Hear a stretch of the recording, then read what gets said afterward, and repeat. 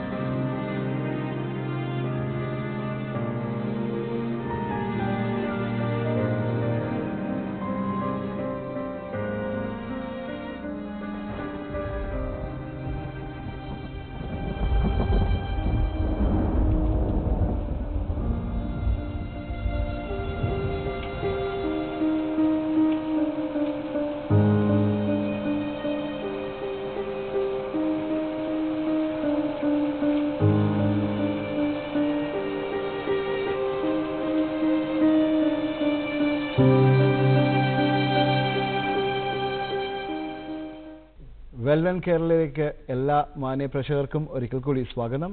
ഇന്ന് നമ്മളിപ്പോൾ ഉള്ളത് അഞ്ചു തെങ്ങിൽ നിന്നും അഞ്ചു പേർ. മത്സ്യ തൊഴിലാളികൾ എന്ന് പറഞ്ഞാൽ പോരാ അവർ മത്സ്യബന്ധനവുമായി ബന്ധപ്പെട്ടവരാണ്. എന്നാൽ അവർ പല രീതിയിലും ഓൾറൗണ്ടേഴ്സ് എന്ന് വിശേഷിപ്പ വിശേഷിക്കപ്പെടാൻ അർഹതയുള്ളവരാണ്. ആന്റണി അല്ലേ? ഞാൻ ബേസിക്കൽ ഈ പറയുന്ന മത്സ്യത്തൊഴിലാളികളുടെ ഇടയിലാണ്. അവരോടൊപ്പം പ്രവർത്തിക്കുന്നു അവരോടൊപ്പമാണ്. പക്ഷെ എന്റെ അവർ അവരുടെ അവർ ചെയ്യുന്ന തൊഴിലിന് സഹായിക്കുവാൻ വേണ്ടി ഞാൻ ബോട്ട് നിർമ്മിച്ച് ബോട്ട് നിർമ്മിച്ച് നൽകുന്നു. അതുകൊണ്ട് ഈ അവരുമായിട്ട് ഏറ്റവും കൂടുതൽ അടുപ്പമുണ്ടെന്ന് പറയാം. മത്സ്യത്തൊഴിൽ അതായത് എന്റെ അച്ഛനും മാമനും എല്ലാവരും കടലിൽ തന്നെയാണ് പോകുന്നത്. എന്റെ അളിയന്മാർ അവർ അപ്പോൾ അതുകൊണ്ട് ഞാൻ ഈ ഫിഷിങ്ങുമായിട്ട് അടുത്ത് നിൽക്കുന്നു. ബോട്ട് ബോട്ട് യാർഡുണ്ട്. പിന്നെ ചർച്ചിന്റെ സെന്റ് പീറ്റേഴ്സ് ഫെറോണ ചർച്ചിന്റെ B C C കോർഡിനേറ്ററാണ്. Thank you so much Jayaraj? ഞാൻ ഇപ്പോൾ മെക്കാനിക്കൽ പണി ചെയ്യുന്നു ചെയ്യുന്നുണ്ട്. ഔട്ട് ബോർഡ് എഞ്ചിന്റെ മെക്കാനിക് ചെയ്യുന്നുണ്ട് അതിനൊപ്പം തന്നെ ഓട്ടോ ഓടുന്നുണ്ട്. ഇതിന്റെ കൂടെ ഇതിന്റെ കൂടെ സമയം കിട്ടുമ്പോൾ കടലും പോകാറുണ്ട് എന്റെ. എന്റെ സാഹചര്യം അനുസരിച്ച് ഞാൻ ചെയ്യാറുണ്ട്. എന്റെ ജോലി. ഷാലു കുറച്ച് നാൾ ഗൾഫിലായിരുന്നു അല്ലേ?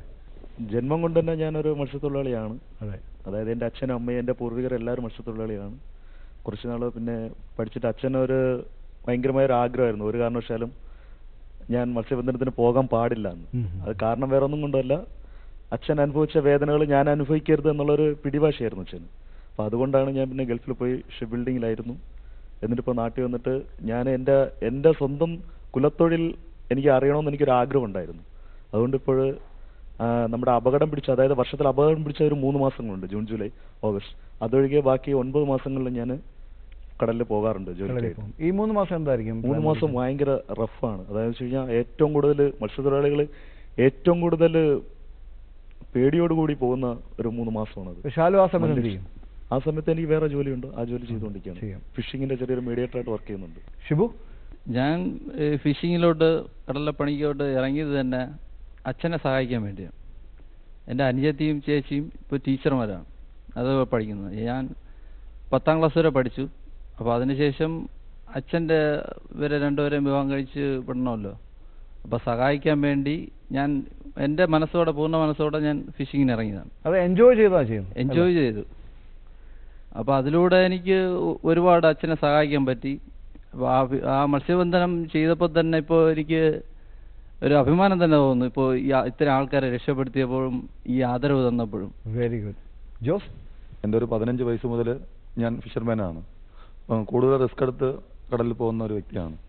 ആര് വന്നില്ലെങ്കിലും ഞാൻ ഒറ്റയ്ക്കെങ്കിലും ഞാൻ തിരയുടെ അടുത്ത് പോകും അങ്ങനത്തെ. എന്റെ വീട്ടിലെന്ന് പറയുമ്പോൾ സഹോദരങ്ങൾ കുറേ ഉണ്ടായിരുന്നു. അതുകൊണ്ട് ആ റിസ്ക് കൊണ്ട് എന്റെ ഒരു പതിനഞ്ച് വയസ്സിൽ തന്നെ ഞാൻ കടലിലോട്ട് ഇറങ്ങി. മലയാളികൾക്ക് മാത്രമല്ല ലോകത്തെമ്പാടുമുള്ള എല്ലാവർക്കും അറിയാവുന്ന കാര്യമാണ് ഈ പ്രളയക്കെടുതി വന്നപ്പോൾ ഏറ്റവും കൂടുതൽ സഹായഹസ്തവുമായിട്ട് വന്നതും വളരെ എഫക്റ്റീവായിട്ട് കാര്യങ്ങൾ ചെയ്തതും ഫിഷർമാൻ കമ്മ്യൂണിറ്റിയാണ് സംശയമില്ലാത്ത കാര്യം. അപ്പോൾ എനിക്ക് തോന്നുന്നു അതിനകത്ത് രണ്ട് കാര്യങ്ങൾ. ഒന്ന് അഞ്ചുതെങ്ങ് എന്ന് പറയുന്ന ആ ഏരിയയിൽ നിങ്ങൾ അനുഭവിച്ചിട്ടുള്ള ട്രാജഡീസ്. എന്റെ കണക്ക് പറഞ്ഞ കണക്ക് ശരിയാണെങ്കിൽ നാൽപ്പത്തി ഒമ്പത് പേരോളം ഈ ഒരു വെള്ളം എന്ന ഒരു ഇതുകൊണ്ട് മരിച്ചിട്ടുണ്ട്. അപ്പോൾ ആ ഒരു അറിവ് അല്ല അത് അത് ഡീൽ ചെയ്തുള്ള എക്സ്പീരിയൻസ് അത് ഇതിൽ എന്തുമാത്രം സഹായകരമായിരുന്നു? ഞങ്ങളുടെ ചിന്തയും ഞങ്ങളുടെ ലക്ഷ്യവും വേറെയായിരുന്നു. കാര്യം അവിടെ ഒരു മത്സ്യത്തൊഴിലാളികൾക്ക് ജൂൺ ജൂലൈ മാസങ്ങളിൽ ഈ പറയുന്ന റെഡ് സീസണിൽ കടലിൽ പോകുന്ന ബുദ്ധിമുട്ടുണ്ട്. കടലിൽ പോകുന്ന ബുദ്ധിമുട്ടുണ്ട്. ആ ബുദ്ധിമുട്ട് തരണം ചെയ്യുവാൻ. കാരണം ഈ കടലിൽ പോകുമ്പോഴുണ്ടാകുന്ന അപകടങ്ങൾ. അപകടം ഒരുപാട് അപകടം ഉണ്ടാവും. അതുകൊണ്ട് ഈ തിര നന്നായിട്ട് പൊങ്ങി ഒരു ആറ് മീറ്റർ വരെ പൊങ്ങി വരാം. അപ്പോൾ ആ സമയങ്ങളിൽ സുഗമമായിട്ട് ആ സമയങ്ങളാണ് സീസൺ ഉള്ളത്. അതുകൊണ്ട് ആ സമയങ്ങളിൽ ഞങ്ങൾക്ക് കടലിൽ പോകാനുള്ള ഒരു സാഹചര്യം ഉണ്ടാക്കുവാൻ വേണ്ടിയാണ് അന്നത്തെ ഗവൺമെന്റിനോട് നമ്മൾ സമരം ചെയ്ത് ഇത്രയും അതായത് ട്രെയിനൊക്കെ തടഞ്ഞുകൊണ്ടാണ് നമ്മൾ ആ സമയത്ത് സമരം ചെയ്തത്. സമരം ചെയ്തു ഞങ്ങൾക്കൊരു സുഖമായി പോകാൻ ഒരു ഒരു ട്രാ- ഒരു ട്രാക്ക് വേണം. ഇതിനു വേണ്ടി ഗവൺമെന്റ് ചെയ്തത് നേരെ തിരിച്ചാണ്. മുതലപ്പൊഴി ഫിഷിംഗ് ഹാർബർ എന്ന് പറഞ്ഞിട്ട്. അതായത് ശാസ്ത്രീയം അതായത് രണ്ട് കമ്പനികളാണ് പഠിച്ചിരിക്കുന്നത് മെട്രാസ് ഐ ഐ ടിയും പൂനെ ഐ ഐ ടിയും. ഇവർ ആദ്യം ചെയ്ത സ്ട്രക്ചറിൽ മാറ്റം വന്നു. പിന്നെയും അടുത്ത സ്ട്രക്ചർ മാറ്റി. എങ്കിലും ഇതുവരെയ്ക്കും പത്ത് രണ്ടായിരത്തി തുടങ്ങി രണ്ടായിരത്തി രണ്ടിൽ തുടങ്ങിയാണെന്ന് ആ ഇത്രയും വർഷമായിട്ടും അൻപത്തിനാല് കോടി രൂപയോളം ചിലവാക്കി. എന്നിട്ട് ഇന്നേ വരെ അത് ശാശ്വതമായി പോകാൻ പാടില്ല. അവിടെ ഒരു ബോർഡും കൂടെ വെച്ചിട്ടുണ്ട്. ജൂൺ ജൂലൈ മാസങ്ങളിൽ മത്സ്യബന്ധനത്തിന് പോകാൻ പാടില്ല. അത് ഞങ്ങൾ ചോദിച്ചത് എന്താണ് ജൂൺ ജൂലൈ മാസങ്ങളിൽ ഞങ്ങൾക്ക് സുഖമായി പോകാൻ അവിടെ ഇപ്പോൾ വെച്ചിരിക്കുന്ന ബോർഡ് എന്നിട്ടും ഈ ഇതെല്ലാം തരണം ചെയ്ത് പോകുന്നത് ഈ മൂന്ന് മാസങ്ങളാണ് ഞങ്ങൾ സീസണുള്ളത് ഞങ്ങൾ ജീവിക്കണമെങ്കിൽ ഈ പറയുന്ന സമയങ്ങൾ കിട്ടുന്ന പൈസ വെച്ചിട്ടാണ് ബാക്കിയുള്ള സമയം ഞങ്ങൾ ജീവിക്കാനുള്ളത്. ആ ജീവിതത്തിന് വഴിമുട്ടിച്ചുകൊണ്ടാണ് ഈ ആ ഒരു ഇതിനു വേണ്ടി നമ്മൾ ഓടിച്ചാടി പണിക്ക് പോകും. പണിക്ക് പോകുമ്പോൾ ഉണ്ടാകുന്ന ഈ തിരയടിച്ചിൽ ഇതിനകത്ത് തന്നെ ഈ ഹാർബറിനകത്ത് തന്നെ മുപ്പത്തിനാല് പേരോളം മരിച്ചു. മൊത്തം ഈ ഒരു നാല് വർഷം അഞ്ച് വർഷം എടുക്കുകയാണെങ്കിൽ നാൽപ്പത്തൊമ്പത് പേരോളം ഞങ്ങളുടെ കൂടപ്പിറപ്പുകൾ നാൽപ്പത്തൊമ്പത് പേരോളം മരിച്ചു കഴിഞ്ഞു. അപ്പോൾ ഈ ഒരു ഒരു വെള്ളപ്പൊക്കം അതൊരു പരിധി വിട്ട് പോകുന്നു കയ്യിൽ നിന്ന് പോകുന്നു എന്ന് തോന്നിയപ്പോൾ നിങ്ങൾക്ക് തന്നെ നിങ്ങൾക്ക് ഫീൽ ചെയ്തു ഇനി ഒരു ദുരന്തത്തിൽ ഈ ഒരു ദുരന്തത്തിൽ നമുക്ക് എങ്ങനെ എന്ന് എങ്ങനെ കോൺട്രിബ്യൂട്ട് ചെയ്യാൻ പറ്റും എത്രയും പേരെ നമുക്ക് രക്ഷിക്കാൻ പറ്റും അത് നേരത്തെ സ്വയം പുറപ്പെട്ടതാണോ അതോ നിങ്ങൾ ഒരു ഒരു ആരെങ്കിലും നിങ്ങളോട് അത് ആവശ്യപ്പെട്ടതാണോ എങ്ങനെയാണ് ഒരു ഒരു തുടക്കം എങ്ങനെയായിരുന്നു? ഇല്ല അത് അത് പറയുന്ന ഒരു ഒരു കാര്യം കൂടെ കൂട്ടിച്ചേർക്കണം. ഇത് ഒരു ഒരു ഭാഗത്ത് ഇങ്ങനെ വരുന്നു. രണ്ടാമത് ഈ ഹാർബർ ഉണ്ടാക്കിയത് ഉണ്ടാക്കിയത് കൊണ്ട് ഞങ്ങളുടെ തീരെ നഷ്ടമായി. ഈ കടൽ ഈ വെള്ളമായിട്ട് ബന്ധപ്പെട്ടുകൊണ്ടാണ് പറയുന്നത് തീരെ നഷ്ടമായപ്പോൾ ഞങ്ങളുടെ വീടുകൾ നഷ്ടപ്പെടാൻ തുടങ്ങി. ഞങ്ങളുടെ വീട് നൂറ്റി ഈ ഒരു വർഷം നൂറ്റി ഇരുപതോളം വീടുകൾ നഷ്ടപ്പെട്ടു. അപ്പോൾ തിരയടിച്ച് വെള്ളം വരുന്നു. അവിടെ നിന്ന് പാലായനം ചെയ്യുന്നവരുടെ മാനസികാവസ്ഥ ഞങ്ങൾക്കറിയാം. ടി വിയിലും ചാനലിലും കണ്ടുകൊണ്ടിരിക്കുമ്പോൾ ഞങ്ങൾ ഇങ്ങനെ കണ്ടുകൊണ്ടിരിക്കുകയാണ് വെള്ളം കയറുന്നത്. അപ്പോൾ ഞങ്ങൾക്ക് കൃത്യമായി അറിയാം. ഒന്ന് ജീവന്റെ വില അറിയാം. രണ്ടാമത്തത് വെള്ള വെള്ളം കയറുമ്പോഴുണ്ടാകുന്ന ഫീൽ ഫീലിങ്സ് ഞങ്ങൾക്ക് മനസ്സിലായി. അപ്പോൾ നമ്മൾ കളക്ടറോട് ചോദിക്കുന്നു അങ്ങോട്ട് വിളിച്ച് ചോദിക്കുന്നു മാഡം എന്തെങ്കിലും അത്യാവശ്യം സഹായം വേണം? മാഡത്തിന്റെ സെക്രട്ടറി വിളിച്ച് പറഞ്ഞു ഇല്ല അത്യാവശ്യം ഇപ്പോൾ വേണ്ട ഞങ്ങൾ വിളിക്കുമ്പോൾ റെഡിയായിട്ട് ഇരുന്നാൽ മതി. അങ്ങനെ ആ രീതിക്കാണ് ഞങ്ങൾ റെഡിയായിരുന്നു പക്ഷേ ഈ കോസ്റ്റൽ നമ്മുടെ കോസ്റ്റൽ സി ആണ് പുള്ളിയാണ് നമ്മളെ ഇൻഫോം ചെയ്യണം എത്രയും പെട്ടെന്ന് നമുക്ക് ഇങ്ങനെ ബോട്ട് വേണം. ഞങ്ങൾ റെഡിയാണ് അങ്ങനെയാണ് ആ ഇതിലേക്ക് പോകാനുണ്ടായ ഒരു മാനസികാവസ്ഥ പറഞ്ഞതേ ഉള്ളൂ. ഷാലു ഷാലു ഷിപ്പിംഗ് ഇൻഡസ്ട്രിയിൽ വർക്ക് ചെയ്തിട്ടുണ്ട്. അപ്പം ഇതിന്റെ ഒരു ടെക്നിക്കൽ ആസ്പെക്റ്റും നന്നായിട്ട് അറിയാവുന്ന ആളാണ്. ഇത് എന്റെ ഉള്ള എനിക്കുള്ള ലിമിറ്റഡ് അറിവ് വെച്ച് പറയുകയാണെങ്കിൽ ഇതിൽ നിങ്ങൾ ഉപയോഗിക്കുന്ന ആ ബോട്ട് ഇതുപോലൊരു സാഹചര്യത്തിൽ ഏറ്റവും കൂടുതൽ നാവിഗേറ്റ് ചെയ്യാൻ പറ്റുന്ന ഒരു ഒരു സംഭവമായിരുന്നു. അത് എന്തുകൊണ്ടാണ്? അതിന്റെ പവർ കൊണ്ടാണോ? സൈസ് കൊണ്ടാണോ? ഏറ്റവും കൂടുതൽ ഏരിയയിലേക്ക് എത്തപ്പെടാൻ നിങ്ങളുടെ ബോട്ടുകൾക്കാണ് സാധിക്കുന്നതെന്ന് ഇങ്ങനെ കേട്ടിട്ടുണ്ട്. അതെ അതിന് പ്രധാനമായിട്ടും പറയുന്നത് വെച്ച് കഴിഞ്ഞാൽ നമ്മുടെ ഈ അപകടം സംഭവിച്ച മേഖലകളിലെല്ലാം ചെറിയ ഒരു കാറിന് പോകാൻ പോകുന്ന മാത്രം വഴികളുള്ള ഏരിയകളാണ്. ബാക്കി മച്ച് ഫുൾ മതിൽക്കെട്ടും ചുറ്റുമതിലും മരങ്ങളും അതും ഇതൊക്കെ ഉള്ള കാര്യങ്ങൾ. അപ്പോൾ നമുക്കൊരു കാറിന് മാത്രം അപ്പോൾ ഒരു കാറിന് പോകാമെങ്കിൽ ഞങ്ങളുടെ ചെറിയ ചെറിയ വള്ളത്തിന് ഉറപ്പായിട്ട് അതുവഴി പോകാന്നുള്ള ഒരു വിശ്വാസം ഞങ്ങൾക്ക് ഉണ്ടായിരുന്നു അതുകൊണ്ടാണ് ഞങ്ങൾ പറഞ്ഞത് ഞങ്ങളുടെ ഞങ്ങളുടെ പക്കലുള്ള ഏറ്റവും ചെറിയ വള്ളങ്ങളുമായിട്ട് ഞങ്ങൾ വരാം. അപ്പോൾ ഞങ്ങൾക്ക് എവിടെ വേണമെങ്കിലും കയറി ചെല്ലാൻ സാധിക്കും. അപ്പം അങ്ങനെ ഒരു സജഷൻ ഞങ്ങൾ തന്നെയാണ് പറഞ്ഞത്. ആദ്യം ആദ്യം പറഞ്ഞ ഞങ്ങൾക്ക് മാക്സിമം ആൾക്കാരെ സേവ് ചെയ്യണം. അതുകൊണ്ട് വലിയ വലിയ വള്ളങ്ങൾ വേണമെന്ന് പറഞ്ഞു. അപ്പോൾ ഞങ്ങൾ അപ്പോൾ തന്നെ തിരുത്തി പറയുക ചെയ്തത്. വലിയ വള്ളങ്ങളായിട്ട് വന്നു കഴിഞ്ഞാൽ അത് അതിനേക്കാളും ബുദ്ധിമുട്ടായിരിക്കും. പല സ്ഥലങ്ങളിൽ എത്തിച്ചെല്ലാം സാധിക്കത്തില്ല. അപ്പോൾ ഒരു ട്രക്കിൽ എത്ര വള്ളം ഇത് പറയുന്നത് വേറൊന്നും കൊണ്ടല്ല. ഞങ്ങൾ എന്തുകൊണ്ട് അവിടെ പോയെന്ന് പറഞ്ഞാൽ ഇതിനു മുമ്പും ഞങ്ങൾ ഈ രക്ഷാപ്രവർത്തനം ഇതുപോലെ ചെയ്തിട്ടുണ്ട്. ചെയ്തിട്ടുണ്ട്. രണ്ട് വെള്ളപ്പൊക്കങ്ങളിലും അതായത് ഞങ്ങളുടെ പൂർവികർ ചെയ്തിട്ടുള്ളതാണ് ആദ്യത്തേത്. അന്ന് ഈ കട്ടമരത്തിലായിരുന്നു അവർ പോയി ആറ്റിങ്ങൽ ഈ പോകുന്ന വാമനാപുരം നദിയുടെ ആ ഭാഗത്ത് പോയി അവരെ രക്ഷ രക്ഷപ്പെടുത്തിക്കൊണ്ടുവന്നു ഞങ്ങളുടെ ഓർമ്മയിൽ ഞങ്ങൾ ഈ ഫിഷിംഗ് ബോട്ടുമായിട്ട് പോയി ഈ വാമനാപുരത്ത് പോയി. ഇങ്ങനെ എടുത്തുകൊണ്ട് വന്ന ഒരു ചരിത്രം കൂടെ ഉള്ളതുകൊണ്ടാണ് ഞങ്ങൾക്ക് ചെറിയ ബോട്ടിൽ പോയി രക്ഷപ്പെടുത്താൻ പറ്റുമെന്ന് നമ്മൾ ആദ്യമേ മനസ്സിലാക്കി. മനസ്സിലാക്കിയത്. അതാണ് അഞ്ചുപേരുടെ ചരിത്രം. നിങ്ങൾ ആ യാത്ര തിരിച്ചത് നിങ്ങൾ തീരുമാനിച്ചത് അതിനെപ്പറ്റി ഒന്ന് പറയാമോ? എങ്ങനെയാണിത് ഒരു കളക്ടറുടെ ഇൻവോൾവ്മെന്റ് ഉണ്ടായിരുന്നാണ് ഞാൻ മനസ്സിലാക്കുന്നത്. അത് തുടക്കം പറയുകയാണെന്നുണ്ടെങ്കിൽ ഞാനും ആന്റണി ചേട്ടനും ഞങ്ങൾ ഞാൻ വീട്ടിൽ വീട്ടുമുറ്റത്തിരിക്കുമായിരുന്നു അപ്പോൾ ആന്റണി ചേട്ടൻ എന്നെ വിളിച്ചിട്ട് പറഞ്ഞു ഷാലു നമുക്ക് എന്തെങ്കിലും ചെയ്യണ്ടേ? നമുക്ക് നമ്മുടെ നാട്ടിൽ ഇത്രയും ദുരിതങ്ങൾ അനുഭവിക്കുന്നു. അപ്പോൾ നമുക്ക് നമ്മുടെ ഭാഗത്തു നിന്ന് അഞ്ചുവിന്റെ ഭാഗത്തു നിന്ന് എന്തെങ്കിലുമൊക്കെ ചെയ്യണം. അവിടെ ക്യാമ്പിൽ എന്തെങ്കിലും അവശ്യ സാധനങ്ങൾ എത്തിക്കുകയോ അങ്ങനെ എന്തെങ്കിലും ചെയ്യണം. അപ്പം ഞാൻ ആന്റണിയോട് പറഞ്ഞു അത് ഉറപ്പായിട്ടും ചെയ്യണം. നമുക്ക് നമുക്ക് എന്തെങ്കിലും അവിടെ ചെയ്തേ പറ്റുള്ളൂ. നമ്മുടെ ഒരു സിഗ്നേച്ചർ അഞ്ചുതെങ്ങ് കാരണം ഏറ്റവും കൂടുതൽ ദുരിതം അനുഭവിക്കുന്ന മേഖലകളിൽ അഞ്ചുതെങ്ങ്. അപ്പം നമ്മുടെ ഒരു ഒരു പങ്കാളിത്തം അവിടെ ഉണ്ടാകണം. അപ്പോൾ ഞാൻ പറഞ്ഞു നമുക്ക് എന്തുകൊണ്ട് അവിടെ ചെന്നുകൂടാന്ന് പറഞ്ഞു. അപ്പോൾ ആന്റണിയും ആന്റണി ചേട്ടൻ പറഞ്ഞു കളക്ടറിനോട് നമ്മൾ ഈ കാര്യം പറഞ്ഞിട്ടുണ്ട്. നമ്മുടെ സേവനം എന്തെങ്കിലും ആവശ്യമുണ്ടെങ്കിൽ ഉടൻ തന്നെ അപ്പോൾ കളക്ടറിന്റെ മറുപടി എന്ന് വെച്ചാൽ തിരികെ ഉടൻ തന്നെ വിളിക്കാം. എന്ന് പറഞ്ഞുകൊണ്ട് ഞാൻ ആന്റണി ചേട്ടനും പള്ളിയിൽ ഞങ്ങളുടെ ഇടവക പള്ളിയിൽ വികാരിയെ കാണാൻ വേണ്ടിയിട്ട് പോകുകയായിരുന്നു. ഇതിന്റെ ഈ ദുരിതാശ്വാസ ക്യാമ്പിലോട്ട് പോകാനുണ്ട് അപ്പോഴാണ് ആന്റണി ചേട്ടന്റെ ഒരു കോൾ വരുന്നത്. നിങ്ങൾ എത്രയും പെട്ടെന്ന് ഒരു വള്ളം ഒരു കുറച്ച് അഞ്ചാറോ വള്ളം അറേഞ്ച് ചെയ്യാൻ പറ്റുമെങ്കിൽ എത്രയും പെട്ടെന്ന് അറേഞ്ച് ചെയ്യുക. ഉടൻ തന്നെ ആന്റണി ചേട്ടൻ പറഞ്ഞു ഇങ്ങനെയാണ് നമുക്ക് വന്നിട്ടുണ്ട്. കളക്ടറോട് ഒന്ന് കോൾ വന്നിട്ടുണ്ട്. പോസ്റ്റൽ സി എം വിളിച്ച് പറഞ്ഞിട്ടുണ്ട്. എത്രയും പെട്ടെന്ന് നമുക്ക് വള്ളങ്ങൾ അറേഞ്ച് ചെയ്യാൻ പറഞ്ഞു. അപ്പോൾ ആന്റണി ചേട്ടൻ പറഞ്ഞു ഓക്കെ ആന്റണി ചേട്ടൻ ഒരു ഒരു സൈഡ് വിട്ടോ? ഞാൻ പറഞ്ഞു ഞാൻ ഒരു സൈഡ് വിട്ട് ഞാനും കുറച്ച് ഒരു മൂന്നാൽ വള്ളം എന്നെ കൊണ്ട് സംഘടിപ്പിക്കാൻ പറ്റും ഞാൻ ചെയ്യാന്ന് പറഞ്ഞു. ആന്റണി ചേട്ടൻ പറഞ്ഞു ആന്റണി ചേട്ടൻ ഒരു മൂന്നാൽ വള്ളം സംഘടിപ്പിക്കാന്ന് പറഞ്ഞു. അങ്ങനെ ഞങ്ങൾ രണ്ട് രണ്ട് വഴിക്കായിട്ട് തിരിഞ്ഞു. ആന്റണി ചേട്ടൻ ഒരു ടീമായിട്ട് ആന്റണി ചേട്ടൻ പോയി. ഞങ്ങളൊരു ടീമായിട്ട് ഞങ്ങളൊരു പത്ത് പേര് ഞങ്ങൾ പോയി. അറിയാൻ മേലാത്തൊരു ഏരിയയിൽ പോയി ചെയ്യുമ്പോൾ എന്തൊക്കെയായിരുന്നു അതിനകത്ത് ഒരു ഒരു ബുദ്ധിമുട്ടുകൾ എന്തൊക്കെയായിരുന്നു? ഒരു പ്രാക്ടിക്കൽ ഇതിൽ ബോട്ട് ഇറക്കി അങ്ങോട്ട് ചെല്ലുന്ന ആ ഒരു ഇതുണ്ടല്ലോ.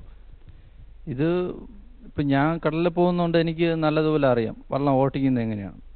അപ്പോൾ അവിടെ പോകുന്ന ആഴ്ച തന്നെ ഈ എന്താ ഏതാണ്ട് പന്തളത്തെത്തിയപ്പോൾ വാഹനങ്ങളൊന്നും മുമ്പോട്ട് പോകില്ല ഇല്ല. നാഷണൽ പെർമിറ്റ് വലിയ വാഹനം മാത്രമേ പോകുള്ളൂ അപ്പോൾ ഞങ്ങൾ വന്ന ഒരു വള്ളവും വണ്ടിയായിട്ട് മാത്രമാണ് പോയത്. അപ്പോൾ ആ യാത്ര ചെയ്ത് തിരുവല്ല ഈ വളഞ്ഞവട്ടം എന്ന സ്ഥലത്താണ് ഞങ്ങൾ ഇറക്കിയത് അപ്പോൾ പോ ഞങ്ങൾ ഇറങ്ങി രക്ഷാപ്രവർത്തനത്തിന് പോകുമ്പോൾ ഈ കാറ് പോകുന്ന വഴിയിൽ കൂടിയാണ് ഞങ്ങൾ വള്ളനാട്ട് പോകുന്നത്. അപ്പം ഞങ്ങൾക്ക് ഈ വഴി കാണിച്ചു തരാൻ വേണ്ടി ഒരു ഫാദർ ഉണ്ടായിരുന്നു ഒരു അച്ഛൻ. അപ്പോൾ ഈ അച്ഛനാണ് ഈ വഴി പറഞ്ഞു തന്നത്. അപ്പോൾ അച്ഛൻ ഈ വഴി പറയുമ്പോൾ ഈ അടുത്ത സ്ഥലം ഏതെന്ന് പറഞ്ഞാൽ മാത്രമേ ഈ വള്ളം നിയന്ത്രിക്കുന്ന ആളിന് വള്ളം കറക്കാൻ പറ്റുള്ളൂ. പറ്റുള്ളൂ. ആ സ്ഥലം എത്തിയ ആ സമയത്ത് കറക്ക ഇതാണ് വഴിയെന്ന് പറഞ്ഞു കഴിഞ്ഞാൽ നമ്മളെ കൊണ്ട് നിയന്ത്രിക്കാൻ പറ്റത്തില്ല. അപ്പോൾ അത്രയും വേണ്ടി ഒഴുക്കുള്ളത് കൊണ്ട് ഞാൻ കടലിലെ പണിക്കുന്നതുകൊണ്ട് എനിക്കറിയാം ഈ ഒഴുക്കിനെ എങ്ങനെ കൊണ്ടുപോകുന്നു നിയന്ത്രിച്ച് അപ്പോൾ ഇഞ്ചിൻ നിൽക്കുന്ന ആളിന് നിയന്ത്രിക്കാൻ പറ്റാത്ത ഒരു കണ്ടീഷനാണ് ചില മിക്ക സമയങ്ങളിലും ഈ ഇതാണ് വഴിയെന്ന് അച്ഛൻ കാണിക്കുമ്പോൾ കൺട്രോൾ ഈ ബാലൻസ് തെറ്റി മതിൽ അങ്ങോട്ട് പോകാൻ പറ്റുന്നില്ല. മതിലിടിച്ച് മതിൽ തകർന്ന് മതിൽ തകരുകയും ഞങ്ങൾ വെള്ളത്തിൽ ഞങ്ങൾ ഈ പമ്പ നദിയുടെ അടുത്താണ്. തൊട്ടടുത്താണ് അപ്പോൾ ഈ വെള്ളത്തിൽ വീണ ഞങ്ങൾക്ക് തന്നെ അപകടം പറ്റുമെന്ന് ഒരു ഇതുണ്ടായിരുന്നു. കാരണം ഞങ്ങളുടെ ജീവനും കൂടെ നോക്കണമല്ലോ. അതെ. അപ്പോൾ ഒരുപാട് ബുദ്ധിമുട്ട്. ഞങ്ങൾ ഈ ചില സമയങ്ങളിൽ ഇഞ്ചിൻ റിപ്പയറായി നിർത്തി മതിൽ പിടിച്ച് നിൽക്കേണ്ടി വന്നു. ചില ആൾക്കാരെങ്കിലും നിങ്ങളുടെ ബോട്ടിൽ കയറാൻ ബുദ്ധിമുട്ട് കാണിച്ചു. അവർ അവർ വിസമ്മതിച്ചു. ആ ഒരു എക്സ്പീരിയൻസ് എന്തായിരുന്നു? അപ്പോൾ ഞങ്ങൾ ആദ്യമായിട്ട് വഴി അറിയത്തില്ല. അപ്പോൾ ഞങ്ങളോട് ഒരു അച്ഛനാണ് ഞങ്ങളോട്. അച്ഛൻ പുള്ളിയെ പേരറിയത്തില്ല അച്ഛൻ ഞങ്ങളോട്. അച്ഛനാണ് ഞങ്ങൾക്ക് വഴി കാണിച്ചു തന്നത് അച്ഛന്റെ പോലും ഈ വെള്ളത്തിലുള്ള യാത്ര അച്ഛനൊരു ബുദ്ധിമുട്ടായിരുന്നു. കാരണം അവിടെ ഒരു അഞ്ചാറ് വർഷം കൊണ്ട് താമസിച്ച അച്ഛനാണ്. ആ അച്ഛന്റെ പോലും ആ ഏരിയ എങ്ങനെ പോകണം എന്ന് അറിയാ അറിയാത്ത ഒരു സംശയമായിരുന്നു അച്ഛന്. അപ്പോൾ ഓപ്പോസിറ്റ് വരുന്ന വള്ളങ്ങളും ചെറിയ തോണി വള്ളങ്ങളൊക്കെ അവരോട് ചോദിച്ചിട്ട് ക്ലിയർ അച്ഛൻ അങ്ങോട്ട് പോകുന്നത്. അപ്പോൾ ഞങ്ങൾ പോകുന്നത് തന്നെ ഏകദേശം ഒരു മൂന്ന് മണിക്കൂറെങ്കിലും യാത്ര ചെയ്ത് വരുന്ന ഒഴുക്കിൽപ്പെട്ട് വരുന്ന തടികളും വീട്ടിലെ ഒരുപാട് സാധനങ്ങൾ ഒഴുകി ഉണ്ടായിരുന്നു അതിനോട് മെത്തയും അങ്ങനെ ഒരുപാട് സാധനം ഒഴുകി വരുന്നു അപ്പോൾ ഇതെല്ലാം മാറ്റി നീക്കി നീക്കിയാണ് ഞങ്ങൾ പോകുന്നത്. പിന്നെ ചില സ്ഥലങ്ങളിൽ തോട് ചില പാലത്തിന്റെ അടി കൂടെ പോകാൻ പറ്റുന്ന പാലത്തിന്റെ അടി കൂടെ പോയായിരുന്നു. അങ്ങനെ പോകാൻ പറ്റുന്ന സാഹചര്യങ്ങളിൽ ഞങ്ങൾ തൊട്ടടുത്തുള്ള കണ്ടങ്ങൾ ചാടിയാണ് പോകുന്നത്. ഈ കണ്ടങ്ങൾ ചാടി പോകുന്നത് തന്നെ ഒരുപാട് തെങ്ങിന്റെ ഓലയും വൃക്ഷങ്ങളൊക്കെ നിന്നിട്ട് ഞങ്ങൾ കൈകൊണ്ട് ഒടിച്ച് പലതും വന്ന് ഞങ്ങളുടെ മുഖത്തടിക്കുക അങ്ങനെയൊക്കെ ഒരുപാട് ഇതൊക്കെ ഉണ്ടായിരുന്നു. ഇത്രയും തരണം ചെയ്ത് ഞങ്ങൾ പോകും. പോകുമ്പോൾ ഇതിന്റെ കൂടെ തന്നെ ഒരുപാട് പോസ്റ്റിൽ ലൈൻ കമ്പി അങ്ങനെയൊക്കെ ഉണ്ടായിരുന്നു. ഇത്രയും ബുദ്ധിമുട്ടി ഞങ്ങൾ പോകുമ്പോഴും അവിടെ പോയിട്ട് ഞങ്ങൾ പറഞ്ഞു ഞങ്ങൾ നിങ്ങളെ രക്ഷിക്കാൻ ഞങ്ങൾ വന്നത് ഒരുപാട് വെള്ളപ്പൊക്കം ഉണ്ട് നിങ്ങൾക്ക് ഇവിടെ കറണ്ടും മറ്റുള്ള സൗകര്യം ഇല്ലാത്തതുകൊണ്ട് പുറത്തുള്ള നടക്കുന്ന ന്യൂസുകൾ നിങ്ങൾ അറിയാത്തതുകൊണ്ട് നിങ്ങൾ പേടിക്കാതിരിക്കും അവർ പറഞ്ഞു ഞങ്ങൾ വെള്ളം കണ്ട് ശീലിച്ച ആൾക്കാരാണ്. അതുകൊണ്ട് ഞങ്ങൾ പേടിയില്ല. ഞങ്ങൾ പറഞ്ഞു നിങ്ങൾ കണ്ട് ശീലിച്ച ആൾക്കാർ തന്നെ തന്നെയാണ്. ഞങ്ങൾ സമ്മതിക്കുന്നുണ്ട്. പക്ഷേ ഇപ്പോൾ നടക്കുന്ന ന്യൂസ് നിങ്ങൾ അറിയുന്നില്ല. കാരണം കറണ്ട് ഇല്ലാത്തതുകൊണ്ട് നിങ്ങൾ പല കാര്യം അറിയുന്നില്ല. പിന്നെ ഫുൾ ഡാം തുറന്നിട്ടിരിക്കുകയാണ്. അപ്പോൾ ഈ വെള്ളം പറ്റേണ്ട ഒരുപാട് സമയമുണ്ട് ആരെങ്കിലുമൊക്കെ ബലം പ്രയോഗിച്ച് കയറാൻ പറഞ്ഞ് കേട്ടേണ്ടി വന്നിട്ടുണ്ടോ? അങ്ങനെയുള്ള സാഹചര്യം അങ്ങനെയുള്ള ഇതുകൾ ഉണ്ടായിരുന്നു. അപ്പോഴും ഞങ്ങൾ പറഞ്ഞിട്ടും ആദ്യ സമയത്ത് അവർ വന്നില്ല. അപ്പോൾ അവർ ഞങ്ങൾ വരുന്നില്ല. നിങ്ങളെ ഫുഡ് എന്തെങ്കിലും ഉണ്ടെങ്കിൽ തന്നാൽ മതി. ഞങ്ങൾ കഴിച്ചുകൊണ്ടിരിക്കുക ഞങ്ങൾ വരുന്നില്ലെന്ന് പറഞ്ഞു. അപ്പോൾ ഞങ്ങൾ കുറച്ച് കൊണ്ട് വെള്ളം ബ്രെഡ് അങ്ങനെ കുറേ കൊടുത്ത്. അപ്പോൾ ഞങ്ങൾ പറഞ്ഞു ശരി വരുന്നില്ലെങ്കിൽ ഇവർ വരണ്ട. നമുക്ക് അടുത്ത വീട്ടിൽ പോകുന്നുണ്ട് അങ്ങനെ വേറെ വീട്ടിൽ പോയി. അങ്ങനെ ഇങ്ങനെ ഒരുപാട് സ്ഥലത്തിൽ പോകുമ്പോഴും ആരും വരാൻ. അവർക്ക് ഫുഡ് മാത്രം മതി. വരാൻ താല്പര്യമില്ല ഫുഡ് മാത്രം മതി. പിന്നെ ആണെങ്കിൽ ഒരു ഒരു രണ്ട് നില വീട് ഒരു നില ഫുള്ളും വെള്ളം താന്നായിരുന്നു. രണ്ട് നില വീട്ടിൽ ഒരു ഏട്ട് ആൾക്കാരുണ്ടായിരുന്നു. അവരിപ്പോൾ വിളിച്ചിട്ട് അവർ അവരിപ്പോൾ വിളിച്ച് അവർ പറയാണ് അത് ഞങ്ങൾ മീൻ കൊണ്ടുപോകണ വള്ളത്തിൽ വരാൻ വേണ്ടി ഞങ്ങൾക്ക് ബുദ്ധിമുട്ടാണ് ഞങ്ങൾ വരുന്നില്ല. ഞങ്ങൾ കാശ് കൊടുത്ത് വേറെ വള്ളം വിളിച്ചിട്ടുണ്ട്. അവർ ഞങ്ങളുടെ വീട്ടിൽ നിന്ന്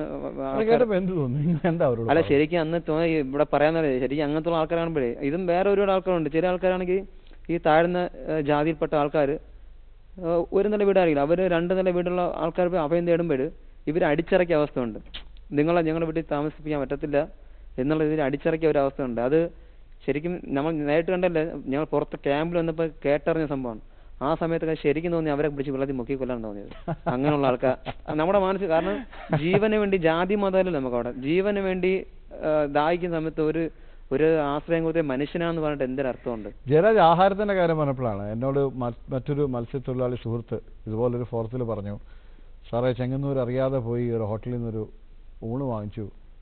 അയാൾ എന്നെ കൊന്ന് കൊല വിളിച്ചു. അങ്ങനെയുള്ള വല്ല എക്സ്പീരിയൻസും ഉണ്ടായോ? അത് ഞങ്ങൾ പോകുന്ന പോകുന്ന ദിവസം അന്ന് വൈകുന്നേരത്തോടു കൂടി ഞങ്ങൾ വൈകുന്നേരം സന്ധ്യയോട് കൂടി കല്ലിശ്ശേരി കഴിഞ്ഞു. തിരുവല്ലത്തോട്ടാണ് ഞങ്ങൾ പോയിക്കൊണ്ടിരിക്കുന്നത്. തിരുവല്ലം എന്ന തിരുവല്ല എന്ന സ്ഥലത്തോട്ടാണ് പോയിക്കൊണ്ടിരിക്കുന്നത്.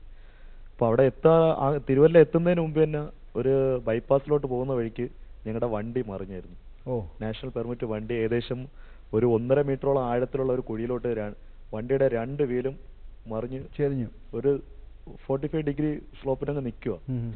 എന്തുകൊണ്ട് ഈ വണ്ടി ഒരു രാത്രി ഫുള്ളും അങ്ങനെ തന്നെ നിൽക്കുക വണ്ടി.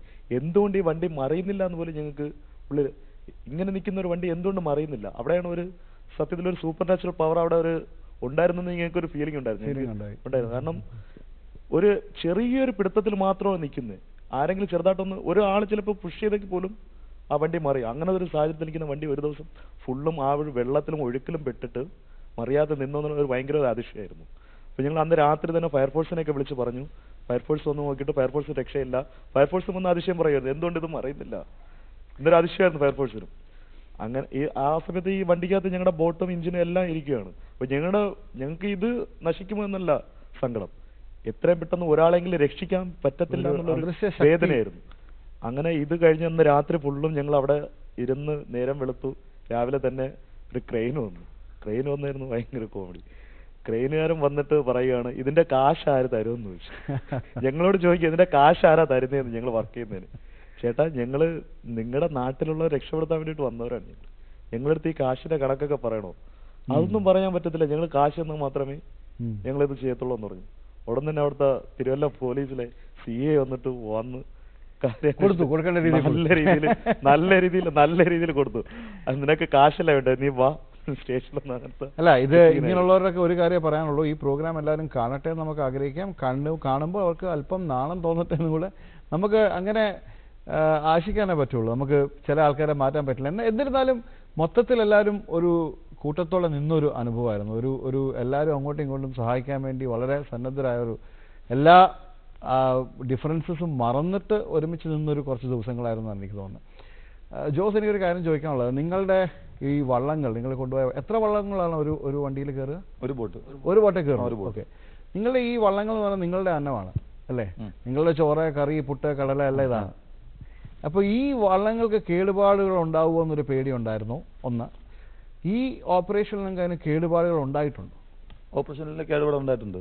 ബോട്ടുകൾ എന്ന് പോകുമ്പോൾ പറയുമ്പോൾ- അതിനെപ്പറ്റി നിങ്ങൾ ആലോചിച്ചോ? ഇങ്ങനെ ഇല്ല ഇല്ല ഇല്ല. നമ്മളൊന്നും ചിന്തിച്ചേ ചിന്തിച്ചിട്ടല്ല അങ്ങോട്ട് പോയത്.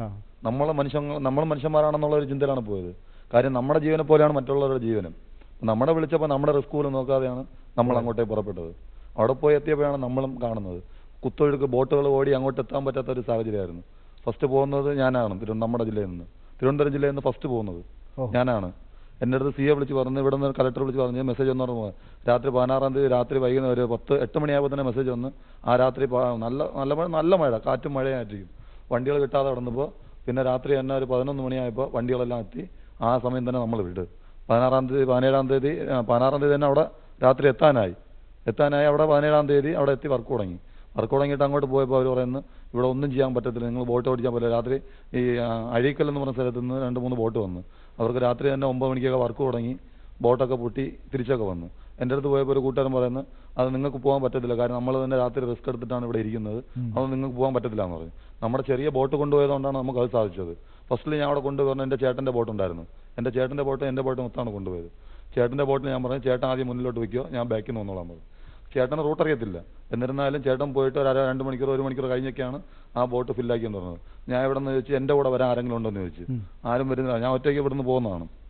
പിന്നീടാണ് ബാക്കി രണ്ടുപേരൊക്കെ എന്റെ കൂടെ സഹായിക്കാൻ വേണ്ടി എത്തിയത്. അങ്ങനെ അവിടെ പോയി എത്തിയതിനു ശേഷം ഞാൻ പറഞ്ഞു ആരെങ്കിലും വേണ്ടെന്ന് ചോദിച്ചപ്പോൾ ഒരു പോലീസുകാരൻ കയറി. ഞാൻ ഒരു തവണ മാത്രം ഒരേ ഒരു തവണ മാത്രം നിങ്ങൾ റൂട്ട് കാണിച്ചു തന്നാൽ മതി. അതിനുശേഷം കാര്യം അവർ നാട്ടിലുള്ളവരാണ്. അതെ. ഞാൻ ഒരു തവണ മാത്രം നിങ്ങൾ റൂട്ട് കാണിച്ചു തന്നാൽ പിന്നെ നമ്മൾ പോയിക്കോളാം പറഞ്ഞു. നമുക്ക് റൂട്ടൊന്നും വേറെ പിന്നീട് ആരും കാണിച്ചിട്ടില്ല. നമ്മൾ അത്രയും റിസ്ക് എടുത്താണ് അവരെല്ലാം പോയത്. ഓരോ ട്രിപ്പിലും പത്തും ഇരുപതും ഇരുപത്തെട്ട് പേര് ഇരുപത് ഇരുപത്തൊന്ന് ഇരുപത്തിരണ്ട് പേരെയൊക്കെ നമ്മൾ കൊണ്ടുവരും. നമ്മളെയും കൂടെ ചേർത്ത്. നമ്മൾ നാല് പേരും മൂന്ന് പേരൊക്കെ പോകും പക്ഷെ ബസ്സിൽ പോയത് ആരെയും കൊണ്ടുവരില്ല. പിന്നീട് അവിടെ ഉള്ള ആൾക്കാർ എന്നെ റൂട്ട് കാണിച്ചു തരണമെന്ന് പറഞ്ഞിട്ട് വീണ്ടും കയറും. നമ്മൾ കയറണ്ടെന്ന് പറഞ്ഞാലും അവരെ നിർബന്ധിച്ച് കയറിയിരുന്നു. വെറുതെ. എന്നിട്ട് അവർ ടൈം പാസ് പോലെ കയറിയിരിക്കുന്നു. മുസ്ലിം അവർ മുസ്ലിം പള്ളിയുടെ അകത്ത് തന്നെ അവരെ ഞാൻ ഇറങ്ങാൻ പറഞ്ഞാലും അവർ കേൾക്കുന്നത്. അവർ മൂന്നും നാലും തവണ കയറുന്ന ആൾക്കാർ ഉണ്ട് അതിൽ ഉണ്ടായിരുന്നു ബോട്ടിന്റെ കേടുപാടുകൾ ഉണ്ടോ കേടുപാടുകൾ ബോട്ടിന്റെ എഞ്ചിനെല്ലാം കേടുപാടുകളുണ്ട്. ഉണ്ട്. പക്ഷെ അത് നിങ്ങൾ കാര്യമാക്കിയില്ല. എന്റെ എന്റെ എഞ്ചിന്റെ പെപ്ലെയർ ലീഫ് ഇളകി പോയി. ബോട്ടിന്റെ ലീഫ് ഇളകി എഞ്ചിന്റെ ലീഫ് ഇളകി പോയിട്ടും പിന്നെ അടുത്തൊരു എഞ്ചിന്റെ ലീഫ് ഇളക്കിയിട്ട് റിപ്പയർ ചെയ്തിട്ടൊക്കെയാണ് നമ്മൾ പണിക്ക് പോകും പിന്നെ ചരടൊക്കെ പൊട്ടി പോകും. സ്റ്റാർട്ടർ പൊട്ടി പോകും. അതൊക്കെ നമ്മൾ റിപ്പയർ ചെയ്യാൻ കഴിവുള്ളതുകൊണ്ട് നമ്മൾ അത് കൊണ്ടുപോയി. അന്ന് അന്നേരം തന്നെ ക്ലിയർ ചെയ്ത് നമ്മൾ വർക്ക് വർക്കിംഗ് തുടങ്ങി. നിങ്ങൾ കടലിന്റെ മക്കളാണ്. നിങ്ങൾ മറ്റു പല പ്രൊഫഷൻസിലുണ്ടെങ്കിൽ തന്നെ നിങ്ങൾ കടലുമായിട്ട് വളരെ അടുത്ത് കടലിനെ പേടിയില്ലാത്തവരാണ് കടലിനെ സ്നേഹിക്കുന്നവരാണ്. റിസ്ക് എന്നൊരു ഫാക്ടർ നിങ്ങളുടെ ലൈഫിൽ ഒരുപക്ഷെ എല്ലാ എല്ലാ ദിവസവും ഒരു രീതിയിലുള്ള വേറെ രീതിയിൽ നിങ്ങളത് മുന്നിൽ കാണുന്നവരാണ്. എന്നിരുന്നാലും ഈ ഒരു അനുഭവം നിങ്ങളെ കുറച്ചുകൂടെ ടഫാക്കിയിട്ടുണ്ടെന്ന് തോന്നുന്നുണ്ടോ എല്ലാവർക്കും? നമുക്ക് ഇത് റിസ്ക് അല്ല. വലിയ റിസ്ക് വന്നാൽ നമ്മൾ ചെയ്യും. ചെയ്യും. അതാണ് മത്സ്യത്തൊഴിലാളികൾ. അല്ല അതിൽ ഒരു വിഷയമുള്ളത് ഈ പറയുന്ന മത്സ്യത്തൊഴിലാളികൾ ഞങ്ങൾ അനുഭവിച്ച വേദനയാണ്. കാര്യം ഞാനൊരു മത്സ്യത്തൊഴിലാളി എന്നുള്ള നിലയിൽ അനുഭവിച്ച വേദന എന്ന് വെച്ചാൽ പല സ്ഥലങ്ങളിൽ നമ്മളെ പിന്നോക്കം നിർത്തിയിട്ടുണ്ട്. പല വേദികളിലും. അത് നിങ്ങൾ ഈ ഒരു ബാക്ക്ഗ്രൗണ്ടിൽ നിന്ന് വരുന്നതുകൊണ്ട് ആ ഞങ്ങൾ കാരണം അത് അവർ അവരുടെ ഭാഗത്ത് നോക്കുമ്പോൾ നല്ല മത്സ്യത്തിന് വേണ്ടി എല്ലാവരും മേശപ്പുറത്ത് വരുന്ന കഴിക്കാൻ റെഡിയാണ്. അത് വേണമല്ലോ. ആ പക്ഷേ ഇവരാരും ചിന്തിക്കുന്നില്ല. ഞങ്ങൾ ഉൽപാദകരാണ് ഗവൺമെന്റ് മീൻസ് ഗവൺമെന്റ് പോലും ചിന്തിക്കില്ല. ഞങ്ങൾ ഉൽപാദകരാണ് ഞങ്ങൾ ആരുടെയും ഔദാര്യത്തിന് വേണ്ടി കൈനീട്ടുന്നതല്ല. ഞങ്ങളുടെ അവകാശമാണ്. ഇതെല്ലാം ഞങ്ങൾക്കറിയാം. ഞങ്ങളുടെ സത്വബോധം ഞങ്ങൾക്കറിയാം. പക്ഷേ ഇത് അറിയാത്തവരാണ് ഈ പറയുന്ന മുന്നോക്ക സമുദായം എന്ന് പറഞ്ഞ് ഇവിടെ വീമ്പടിച്ച് നിന്നവർ ഇപ്പം ഈ ഈ പ്രളയം ഞങ്ങൾ പറയുന്നത് ഇങ്ങനെയാണ്. പ്രളയത്തിന് മുമ്പും പ്രളയത്തിന് പിൻപും മത്സ്യത്തൊഴിലാളികളുടെ ക്യാരക്ടർ ഞങ്ങൾക്കൊരു വ്യത്യാസം ഉണ്ടായില്ല. മറ്റുള്ളവരുടെ മനോഭാവത്തിലാണ് വ്യത്യാസം ഉണ്ടായത്. കാരണം ഞങ്ങൾ പല സ്ഥലത്ത് ഇങ്ങനെ അപകടം വരുമ്പോൾ ഈ പറയുന്ന ഞങ്ങൾ മത്സ്യത്തൊഴിലാളി പല സ്ഥലങ്ങളിലുള്ള ഉള്ളവരായിരുന്നാലും പോലും ഒരു മനസ്സായിരുന്നു. ഇത് ഞങ്ങളുടെ അഭിമാനത്തിന്റെ പോരാട്ടമാണ്. അതുകൊണ്ടാണ് ഞങ്ങൾ ഈ മുഖ്യമന്ത്രി എന്ന പൈസ വേണ്ടാന്ന് പറയുന്നതും ആര് തരുന്ന ഉപകാരങ്ങൾ സ്വീകരിക്കാതിരിക്കുന്നതും ഈ ഒരു ഇത് മാത്രമാണ്. കാരണം ഇത് ഞങ്ങളുടെ സഹോദരങ്ങളാണ്. നമ്മളെല്ലാം ഇന്ത്യക്കാരാണ് അല്ലെങ്കിൽ കേരളീയരാണ് എന്നുള്ള സത്വബോധം ഞങ്ങൾക്കുണ്ട്. ഈ ഉപഹാരത്തിന്റെ കാര്യം പറഞ്ഞപ്പോഴാണ് ഈ രക്ഷിച്ച ആൾക്കാർക്കൊക്കെ ഉപകാര സ്മരണയുണ്ടോ? ഉപകാര സ്മരണ ഇതൊരു രണ്ട് ദിവസം ആൾക്കാർ ഇപ്പോൾ നിങ്ങളെ വിളിക്കുവോ? അല്ലെങ്കിൽ അവർ എങ്ങനെയുണ്ട്? ആ അങ്ങനെ ഉണ്ട് അത് അങ്ങനെയുള്ള ആൾക്കാരുണ്ട്. പിന്നെ നമ്മൾ ഈ പറഞ്ഞ ആൾക്കാർ കയറുമ്പോൾ അതൊക്കെ ഒരു മൈനോറിറ്റി ആയിരിക്കണം. അല്ലേ? ഒരു ഒരു ഭൂരിപക്ഷം എനിക്ക് തോന്നുന്നത് നിങ്ങളെ സ്നേഹിക്കുന്നവരും നിങ്ങളെ അത് എപ്പോഴും നിങ്ങൾക്ക് വേണ്ടി പ്രാർത്ഥിക്കുന്നവരും ആയിരിക്കും കൂടുതൽ. കാരണം ഞാൻ അത് ചോദിച്ച ഒരു കാരണമുണ്ട്. ഞാൻ ഇങ്ങനെ റിസ്ക് കഴിഞ്ഞു നാട്ടിൽ വരാൻ പോയപ്പോൾ ഞങ്ങളെ കുറിച്ച് ഒരു നല്ല പോസ്റ്റ് ഫേസ്ബുക്കിൽ ഒരു നല്ലൊരു പോസ്റ്റ് കണ്ടു. അപ്പോൾ ഞാൻ ഞാൻ- ഞങ്ങൾ ഇതിന് അർക്കരാണോ എന്ന് ചോദിച്ചു. അപ്പോൾ പറഞ്ഞു ആവശ്യവും അത്യാവശ്യവും രണ്ട് രണ്ടാണ്. നിങ്ങൾ അത്യാവശ്യത്തിൽ ഉപകരിച്ചുകൊണ്ടാണ് നിങ്ങൾക്ക് ഇത്രയും ഒരു ഇത്. പക്ഷേ ഞങ്ങൾ പറയുന്നത് ഇത്രയേ ഉള്ളൂ. ഞങ്ങൾക്ക് ഈ അനുമോദനങ്ങളോ ഇതൊന്നും അല്ല വേണ്ടത്. ഞങ്ങൾക്ക് ജീവിക്കാനുള്ള സാഹചര്യം ഉണ്ടാക്കി തരിക. കാര്യം ഞങ്ങൾ വേറെ ഒന്നും പറയും വ്യക്തിഗത ആനുകൂല്യമൊന്നും ചോദിക്കുന്നില്ല. ഒരു ഒരു ഒരു ഭാരതീയന് ജീ അവന് സ്വന്തം എന്നോട് നല്ലൊരു ഭവനത്തിന്റെ അത് ഇതുണ്ട്. യാത്ര ചെയ്യാനുള്ള കാര്യമുണ്ട്. ഇനി ഞാൻ സ്വന്തമായി ജോലി ചെയ്യാനുള്ളത്. ഇതെല്ലാം നമ്മുടെ ഭരണഘടന പറയുന്നത് തന്നെയാണ്. പക്ഷേ എന്തുകൊണ്ട് ഗവൺമെന്റ് പല പല ഘട്ടങ്ങളിലും നമ്മളെ പിന്നോക്കം പിന്നോക്കം മാറ്റി നിർത്തുന്നു എന്ന് വെച്ചാൽ ഞങ്ങളുടെ അവകാശം ഞങ്ങൾക്ക് അറിയാം എന്ന് ഞങ്ങൾ വീണ്ടും വീണ്ടും പറയുന്ന കാര്യം ഞങ്ങളുടെ വേദനയാണ്. അപ്പോൾ ഞങ്ങൾക്ക് ചെയ്യാനുള്ള ഇത്രയേ ഉള്ളൂ. നന്നായിട്ട് തൊഴിലിന് പോകാനുള്ള ഒരു സംവിധാനം റെഡിയാക്കുക. ഈ ഞങ്ങൾക്ക് അനുമോദനം തരുന്നതിനുപരി ഇങ്ങനെയുള്ള ഞങ്ങളുടെ കുറേ കുറേ കാര്യങ്ങൾ ഞങ്ങൾ ആരോടും ഈ പറയുന്ന വിടിച്ചു മേടിക്കാനൊന്നും പോകുന്നില്ല. ഞങ്ങൾക്കൊരു സംവിധാനം നല്ലൊരു നല്ല നല്ലൊരു റോഡായിരുന്നാലും ഞങ്ങൾക്ക് ഈ ഈ കടലിൽ പോകാനുള്ള ഒരു സംവിധാനം പുതിയ ടെക്നോളജിയിലാണ് വന്നിട്ടുണ്ട്. രണ്ടാമത് വേറൊരു കാര്യം പറയുമ്പോൾ ഈ പറയുന്ന നമ്മുടെ സാങ്കേതികവിദ്യ ഐ എസ് ആർ ഇവിടെ നിന്നാണ് ഇവിടെയാണ്. ഇവിടെ നിന്ന് റോക്കറ്റ് പോകുമ്പോൾ കൃത്യമായി ആ റോക്കറ്റ് എത്തുമെന്ന് കൃത്യമായി അറിയാം. പക്ഷേ ഇപ്പം ഞങ്ങൾ ആകുലപ്പെടുത്തുന്ന മത്സ്യത്തൊഴിലാളി ആകുലപ്പെടുത്തുന്ന വേറൊരു സംഭവ സംഭവമാണ് ഈ പറയുന്ന കാലാവസ്ഥ നിരീക്ഷണ കേന്ദ്രം. കാറ്റ് ഇത്ര കിലോമീറ്റർ കാറ്റ് വരും. ഓഗിക്ക് ശേഷം എത്ര ദിവസം ഞങ്ങൾ ഇത് ചെയ്തു? കടലിൽ പോകാതെ നിന്നു. ഇനി നമ്മുടെ കളക്ടർ പറയാണ് നാളെ മഴ പെയ്യും അതുകൊണ്ട് സ്കൂളിനെല്ലാം അവധി. ടീച്ചർമാർക്ക് ശമ്പളം കൊടുക്കുന്നുണ്ടോ ഇല്ലയോ? കൊടുക്കുന്നുണ്ട്. മീൻസ് ഒരു മത്സ്യത്തൊഴിലാളി അവിടെ പോയില്ലെങ്കിൽ കടലിൽ പോയാൽ അവന്റെ വീട് പട്ടിണിയാണ്. ആരും തിരിഞ്ഞു നോക്കില്ല. ഇരുന്നൂറ് ദിവസം ഇവർ അലോട്ട്മെന്റ് ചെയ്യും കടലിൽ പോകാൻ പാടില്ല. ഞങ്ങൾ എങ്ങനെ ജീവിക്കും? ഞങ്ങൾ ആരെങ്കിലും തിരിഞ്ഞു ഏതായാലും നിങ്ങൾ ചെയ്ത ഈ ഒരു പ്രവൃത്തി ഒരു വലിയൊരു മാറ്റത്തിനും തുടക്കമാവട്ടെ നമുക്ക് നമുക്ക് ആശിക്കാം. ഒരു ഹീറോ പരിവേഷം നിങ്ങൾക്ക് എന്തായാലും വന്നിട്ടുണ്ട്. ജയരാജന്റെ കയ്യിലൊരു നോട്ടീസ് ഞാൻ ശ്രദ്ധിച്ചു. എന്താ ഒന്ന് ഒന്ന് കാണിക്കാമോ ഞങ്ങളെ? ഇത് നമ്മുടെ ആറ്റിങ്ങൽ നഗരസഭ ഞങ്ങളൊരു സ്വീകരണത്തിന് വേണ്ടി വിളിച്ചിരിക്കുകയാണ്. ഇപ്പൊ ഇപ്പൊ തന്നെ ഞങ്ങൾ ഓൾറെഡി ഒരു ഇരുപത്തഞ്ചോ ഇരുപത്തി ആറോ സ്വീകരണങ്ങൾ കഴിഞ്ഞു. പക്ഷെ ഇതെല്ലാം ഞങ്ങൾ ഇരുപത്തിയാറ്. ഇരുപത്തി ആറ് ഇരുപത്തി ആറോളം വേദികളിൽ സ്വീകരണങ്ങൾ കഴിഞ്ഞു. നിങ്ങൾ ഒരിക്കലും ഇല്ല ഒരിക്കലില്ല ഒരിക്കലില്ല. അത് ഈ പറയുന്ന അതാ പറയണേ ഞങ്ങൾ നേരത്തെയും പറഞ്ഞു ഞങ്ങൾ ഞങ്ങൾ വേദനിക്കുന്ന ഒരു വിഷയം അറിയാം. ഇങ്ങനെയുള്ള സ്വീകരണങ്ങൾ ഉപരി ഞങ്ങൾ അവിടെ പോയ അവിടെ പോയപ്പോൾ ഉണ്ടായ ഒരു ഏറ്റവും നല്ല സ്വീകരണം കിട്ടിയത് ഞങ്ങൾ രക്ഷിച്ചുകൊണ്ട് വന്നവരുടെ കണ്ണിൽ നിന്ന് കണ്ടതാണ്. നന്ദി പറയാനും നന്ദി പറയാനൊന്നും അവർ നിന്നില്ല ഞങ്ങൾ കേൾക്കാൻ നിന്നില്ല. അവരുടെ കണ്ണിലുണ്ടായ ഒരു ഒരു ഒരു എന്താ അത് കണ്ടു. അത് ഞങ്ങളെ രക്ഷപ്പെടുത്തിയതാണോ? അവരുടെ ജീവൻ രക്ഷിച്ചതാണോ? അതെല്ലാം നമുക്ക് ആ കണ്ണിലൂടെ കാണാൻ പറ്റി. ആരോട് നന്ദി ചോദിക്കാനും നിന്നില്ല പറയാനും നിന്നില്ല പക്ഷെ അവരെ കൊണ്ട് എത്തിച്ചപ്പോൾ ഞങ്ങൾക്ക് തൃപ്തിയായത് ഞങ്ങൾ ഈ ഭൂമിയിൽ ജനിച്ചതിന് ഒരു ഒരു ഒരു നിമിത്തം. അതായത് ഇങ്ങനെ ഇങ്ങനെ ഞങ്ങളെ കൊണ്ട് ചെയ്യാൻ പറ്റി. നിങ്ങളുടെ ഏറ്റവും വലിയൊരു അനുഭവം അല്ലെങ്കിൽ ഏറ്റവും മനസ്സിൽ തങ്ങി നിൽക്കുന്ന ഒരു അനുഭവം അല്ലെങ്കിൽ ഒരു ഓർമ്മ ഈ ഒരു ഒരു സംഭവത്തിൽ? ഞങ്ങൾ ഈ ഈ റെസ്ക്യൂ ഓപ്പറേഷൻ കഴിഞ്ഞതിന് ശേഷം ഞങ്ങൾ അവിടെ ഒരു സ്വീകരണം വിളിച്ച് ഞങ്ങളവിടെ പോയി. ഞങ്ങളവിടെ പോയിട്ട് ഞങ്ങൾ ആദ്യം ഞങ്ങൾ സ്വീകരണത്തിനല്ല പോയത്. ഞങ്ങൾ രക്ഷപ്പെടുത്തിയ ജനങ്ങളെ കാണാനാണ് പോയത് ആദ്യം. ഏതൊക്കെ ആൾക്കാർ നമ്മൾ രക്ഷപ്പെടുത്തിയ സൈറ്റിലുള്ള ആൾക്കാർ എങ്ങനെയാണ് ജീവിക്കുന്നത്? നമ്മളവിടെ പോയപ്പോൾ നമ്മളെ കൈയെടുത്ത് തൊഴുകയാണ്. അത്രയ്ക്കും അത് ഒരിക്കലും നമ്മൾ പ്രതീക്ഷിക്കാത്തൊരു ഇതാണ്.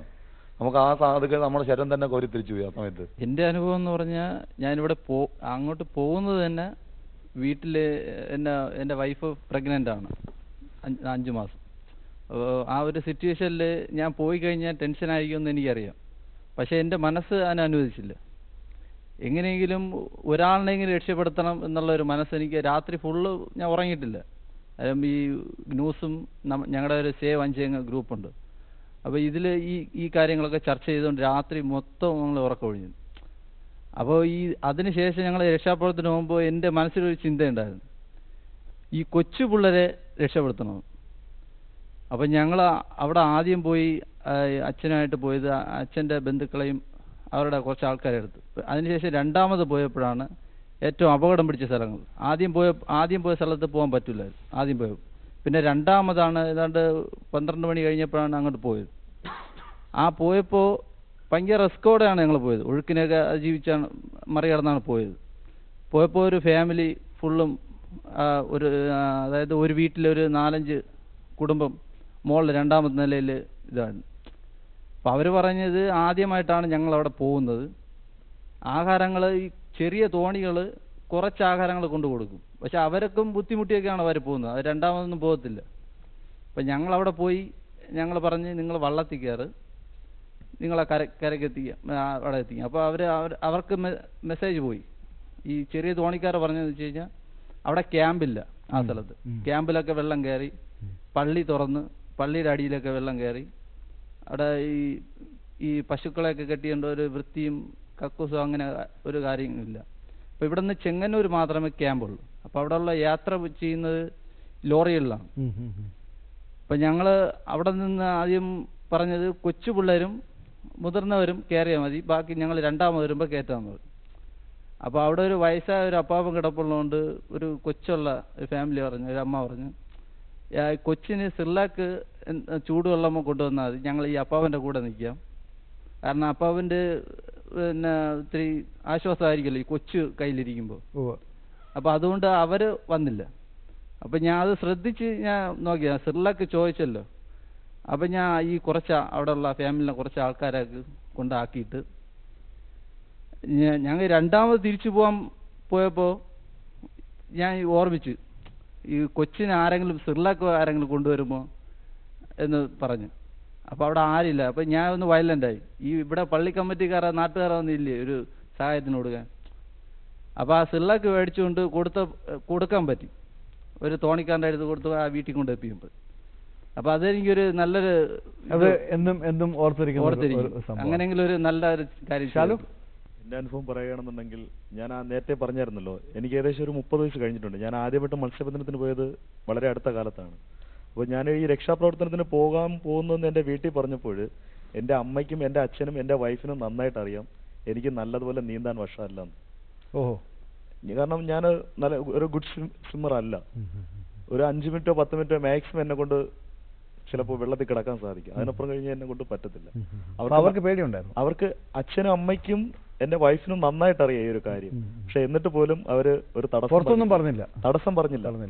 പോയിട്ട് വാ. നീ പോയി കഴിഞ്ഞാൽ തിരിച്ചു വരുമെന്ന് ഞങ്ങൾക്കൊരു വിശ്വാസമുണ്ട്. നീ ധൈര്യമായിട്ട് പോയിട്ടോ വാ. ഒരാളെങ്കിലും രക്ഷപ്പെടുത്താൻ പറ്റുമെങ്കിൽ ഒരാളെങ്കിലും രക്ഷപ്പെടുത്തും. അതിന് ഞാൻ എന്റെ വീട്ടുകാരോട് ഞാൻ ആദ്യം നന്ദി പറയുക.